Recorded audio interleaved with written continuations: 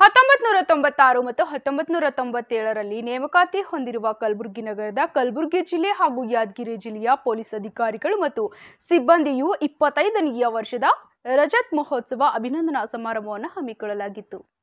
S M Pandit ರಂಗಮಂದಿರದಲ್ಲಿ ಸಾವಿರದ ಒಂಬತ್ನೂರ ತೊಂಬತ್ತಾರು ಮತ್ತು ಸಾವಿರದ ಒಂಬತ್ನೂರ ತೊಂಬತ್ತೇಳರಲ್ಲಿ ನೇಮಕಾತಿ ಹೊಂದಿರುವ ಕಲಬುರಗಿ ನಗರ, ಕಲಬುರಗಿ ಜಿಲ್ಲೆ ಹಾಗೂ ಯಾದಗಿರಿ ಜಿಲ್ಲೆಯ ಪೊಲೀಸ್ ಅಧಿಕಾರಿಗಳು ಮತ್ತು ಸಿಬ್ಬಂದಿಯು ಇಪ್ಪತ್ತೈದನೇ ವರ್ಷದ ರಜತ್ ಮಹೋತ್ಸವ ಹಾಗೂ ನಿವೃತ್ತ ಪೊಲೀಸ್ ಮಹಾನಿರ್ದೇಶಕ ಮತ್ತು ಕರ್ನಾಟಕ ರಾಜ್ಯ ನ್ಯಾಯಮಂಡಳಿಯ ಸದಸ್ಯರಾದ ರಾಘವೇಂದ್ರ ಎಚ್. ಔರಾದ್ಕರ್ ಅವರ ಅಭಿನಂದನಾ ಸಮಾರಂಭ ಹಮ್ಮಿಕೊಳ್ಳಲಾಗಿತ್ತು. ರಾಘವೇಂದ್ರ ಎಚ್. ಔರಾದ್ಕರ್ ಅವರನ್ನ ಈ ಸಂದರ್ಭದಲ್ಲಿ ಸನ್ಮಾನಿಸಿ ಗೌರವಿಸಲಾಯಿತು.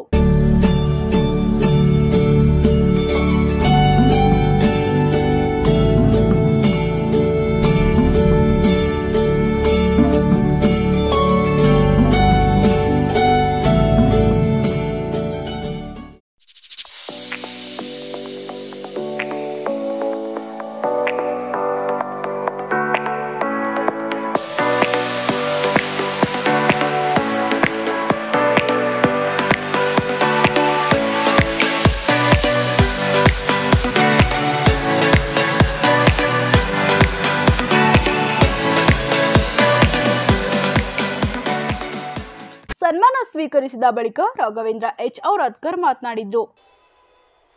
ಬಹಳ ಖುಷಿ ಆಗ್ತದೆ. ಬಹಳ ಸಂತೋಷ ಆಗ್ತದೆ. ಯಾಕಂದ್ರೆ ಪೊಲೀಸ್ ಇಲಾಖೆಯಲ್ಲಿ ಬಹಳ ಕೆಲಸ ಇರ್ತದೆ. ಬೇರೆ ಇಲಾಖೆಯವರಿಗೆ ಕೆಲಸ ಇರಲ್ಲ ಅಂತ ನಾವು ಹೇಳೋದಿಲ್ಲ. ಆದರೆ ಪೊಲೀಸ್ ಇಲಾಖೆ ಕೆಲಸ ಒಂದು it is a thankless job ನೀವು ಎಷ್ಟು ಕೆಲಸ ಮಾಡಿದರೂ ಅದು ಮತ್ತೆ ಅಲ್ಲಿ ಏನಾದರೂ ಒಂದು ಕುಂದು ಕೊರತೆ ಬೇಕಾದಷ್ಟು ಕಂಡುಹಿಡಿಬಹುದು ಎರಡನೇದು ಇರ್ರೆಗ್ಯುಲರ್ ಟೈಮಿಂಗ್ ಬೇರೆ ಇಲಾಖೆಯವರು ಬೆಳಗ್ಗೆ ಒಂಬತ್ತು ಗಂಟೆಗೆ ಬಂದು ಆರು ಗಂಟೆಗೆ ಹೋಗ್ಬೋದು ಅಥವಾ ಏಳು ಗಂಟೆಗೆ ಹೋಗ್ಬೋದು ಎಂಟು ಗಂಟೆಗೆ ಹೋಗ್ಬೋದು ರಾತ್ರಿ ಹತ್ತಕ್ಕೆ ಹೋಗ್ಬೋದು ಆದರೆ ಒಂದು ಸಲ ಮನೆಗೆ ಹೋದ್ಮೇಲೆ ಅವ್ರು ಮತ್ತೆ ಬರೋದಿಲ್ಲ.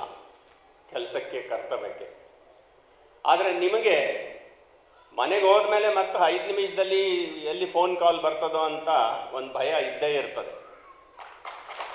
ಕೈನೆಟಿಕ್ ಗ್ರೀನ್ ಜೂಮ್ ಮತ್ತು ಜಿಂಕ್ ಎಲೆಕ್ಟ್ರಿಕ್ ಟೂ ವೀಲರ್ಗಳು ಲೈಸೆನ್ಸ್ ಮತ್ತು ರಿಜಿಸ್ಟ್ರೇಷನ್ ಅಗತ್ಯವಿಲ್ಲ. ಗಂಟೆಗೆ ನಲವತ್ತು ಕಿಲೋಮೀಟರ್ ವೇಗ. ಇದೀಗ ಬಂದಿದೆ ಗಂಟೆಗೆ ಅರವತ್ತು ಕಿಲೋಮೀಟರ್ ವೇಗದ ಜಿಂಕ್ ಎಚ್ ಎಸ್ ಎಸ್ ಅತಿ ವೇಗ ಮತ್ತು ದೀರ್ಘ ಚಲನೆ. ಮೂರು ಗಂಟೆಗಳ ಪ್ರತಿ ಚಾರ್ಜಿಂಗ್ನಿಂದ ನೂರ ಇಪ್ಪತ್ತು ಕಿಲೋಮೀಟರ್. ಇದಕ್ಕೆ ಲೈಸೆನ್ಸ್ ಮತ್ತು ರಿಜಿಸ್ಟ್ರೇಷನ್ ಅಗತ್ಯವಿದೆ. ಮಹಿಳೆಯರಿಗೆ ಕಾಲೇಜು ವಿದ್ಯಾರ್ಥಿಗಳಿಗೆ ಅತ್ಯಂತ ಸೂಕ್ತ ಟೆಸ್ಟ್ ರೈಡ್ ಮತ್ತು ಬುಕಿಂಗ್ ಆಗಿ ಭೇಟಿ ಕೊಡಿ ಆರ್ತಿ ಎಂಟರ್ಪ್ರೈಸಸ್. ಟಿವಿ ಸ್ಟೇಷನ್ ಹತ್ತಿರ ಹುಮ್ನಾಬಾದ್ ರೋಡ್, ಕಲಬುರ್ಗಿ.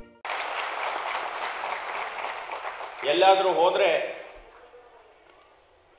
ಈಗ ಪರವಾಗಿಲ್ಲ ಅನ್ನಿಸ್ತದೆ ಸ್ವಲ್ಪ, ಆದರೆ ನೀವೆಲ್ಲ ಅಪಾಯಿಂಟ್ಮೆಂಟ್ ಆದಾಗ ಎಲ್ಲಾದರೂ ಬಂದೋಬಸ್ತ್ ಡ್ಯೂಟಿಗೆ ನಿಮಗೆಲ್ಲರಿಗೆ ಕಳಿಸ್ಬೇಕಂದ್ರೆ ಅಲ್ಲಿನ ಸರ್ಕಲ್ ಇನ್ಸ್ಪೆಕ್ಟರ್ ಸಬ್ ಇನ್ಸ್ಪೆಕ್ಟರ್ಗಳಿಗೆ ಹತ್ತು ಸಲ ಫೋನ್ ಮಾಡಬೇಕಾಗ್ತಿತ್ತು. ಅವರು ನೂರು ಸಲ ಫೋನ್ ಮಾಡ್ತಿದ್ರು, ಅವಾಗ ಮೊಬೈಲ್ ಇರಲಿಲ್ಲ, ಲ್ಯಾಂಡ್ಲೈನ್, ಅಥವಾ ಎಸ್ ಬಿ ಕಾನ್ಸ್ಟೇಬಲ್ಗೆ ಕಳಿಸ್ಕೊಡ್ತಿದ್ರು.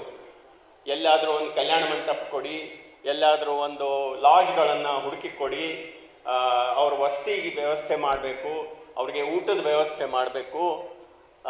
ಈ ಇಷ್ಟೊಂದು ತೊಂದರೆಗಳು ಅವಾಗ ನಾವು ಅನುಭವಿಸ್ತಿದ್ವಿ, ಇಲಾಖೆ ಆ್ಯಸ್ ಅ ಹೋಲ್ ಅಂಥ ಒಂದು ಕಠಿಣ ಪರಿಸ್ಥಿತಿಯಲ್ಲಿ ನೀವೆಲ್ಲರೂ ಕೆಲಸ ಮಾಡ್ತಿದ್ರಿ. ಒಂದೊಂದು ಸಲ ನಿಮಗೆ ಊಟ ಸಿಗ್ತಿದ್ದಿಲ್ಲ, ತಿಂಡಿ ಸಿಗ್ತಿದ್ದಿಲ್ಲ ನನ್ನ ಅಥವಾ ಇವನ್ ಒಂದು ಕಪ್ ಚಹಾ ಕೂಡ ಸಿಗೋದಿಲ್ಲ. ನಿಮ್ಮ ಮಕ್ಕಳು ಯಾವಾಗ ಸ್ಕೂಲ್ಗೆ ಹೋಗ್ತಾರೆ, ಯಾವಾಗ ಸ್ಕೂಲ್ದಿಂದ ಬರ್ತಾರೆ, ನಿಮ್ಮ ಮನೆಯವರೇ ಎಲ್ಲ ನೋಡ್ಕೊಳ್ತಾರೆ, ಅದಕ್ಕೆ ಅವರಿಗೆ ಡಬಲ್ ಥ್ಯಾಂಕ್ಸ್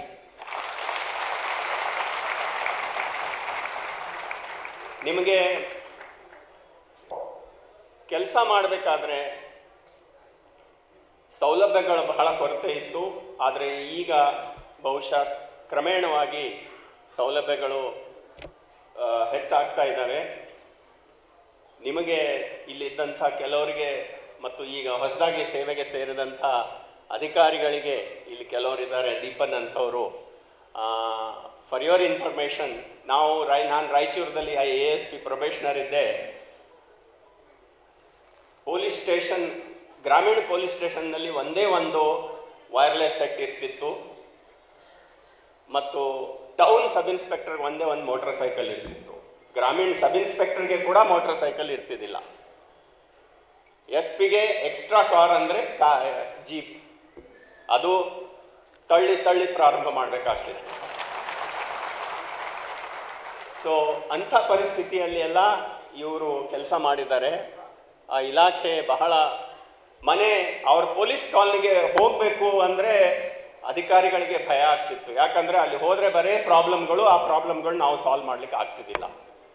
ಯಾಕಂದರೆ ಇಪ್ಪತ್ತಿಪ್ಪತ್ತು ವರ್ಷಗಳಿಂದ ಡ್ರೈನೇಜ್ ಕ್ಲೀನ್ ಆಗಿಲ್ಲ ಅಥವಾ ನಳದ ನೀರಿಲ್ಲ, ಕುಡಿಯೋ ನೀರಿಲ್ಲ ಅಥವಾ ರಿಪೇರ್ಸ್ ಇಲ್ಲ ಮತ್ತು ಮನೆಗಳು ಸೋರ್ತಾ ಇದ್ದಾವೆ ಅನ್ನೋ ಒಂದು ಪರಿಸ್ಥಿತಿ ಆವಾಗ ಇತ್ತು. ಈ ಸಮಾರಂಭದಲ್ಲಿ ಎಸ್ಪಿ ಇಶಾ ಪಂತ್ ಸೇರಿದಂತೆ ಅನೇಕ ಹಿರಿಯ ಪೊಲೀಸ್ ಅಧಿಕಾರಿಗಳು ಉಪಸ್ಥಿತರಿದ್ದರು.